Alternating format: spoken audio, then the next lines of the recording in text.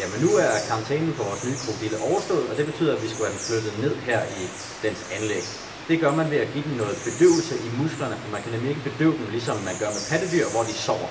Det vil sige, at vi flytter den, mens den er ved bevidsthed, men den ikke kan, kan skade os eller den selv, og det er nemmere for os at arbejde med.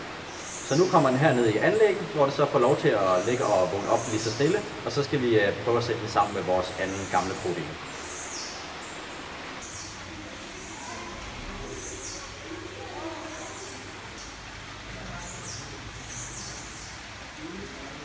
Nu, øh, når vi har fået den nye krokodille i gang med at spise, vi vil gerne have nogle tegn på, at hun er blevet tryg i hendes anlæg.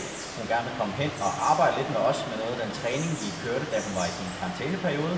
Så er vi ligesom fortrolige med, at nu øh, er hun okay til, at vi kan prøve at åbne op til øh, den gamle krokodille.